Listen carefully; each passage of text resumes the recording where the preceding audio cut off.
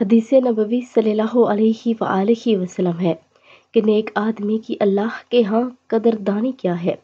रसूलुल्लाह सल्लल्लाहु अलैहि वसल्लम ने फरमाया कि जब नेक आदमी की मौत वाकई हो जाती है तो आसमान के वो दरवाजे रोते हैं जहाँ से इसके लिए रिजक उतारा जाता है। ज़मीन के वो टुकड़े रोते हैं जहाँ बैठ करने की और इबादत किया करता था। इसकी मौत की वजह से फरिश्तों को हुक्म किया जाता है कि ये मेरा नेक बंदा था। इसका जनाजा उठाया जाएगा।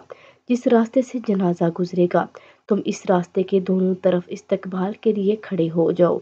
मेरे आशिक का जनाजा खूब, एजाज अकराम के साथ गुजरे। सुबहान अल्लाह कितनी अजीब बात है कि घर से लेकर कब्र तक दोनों तरफ़ फरिश्ते इस्तकबाल कर रहे होते हैं।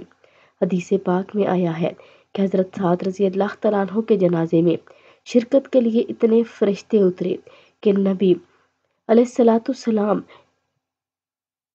पंजू के बल चल रहे थे कि किसी ने पूछा, ए अल्लाह के नबी सल्लल्लाहु अलैहि वसल्लम, ये क्या? फरमाया, इतने फरिश्ते आसमान से उतर आए हैं कि मुझे पाँव रखने की जगह नहीं मिल रही।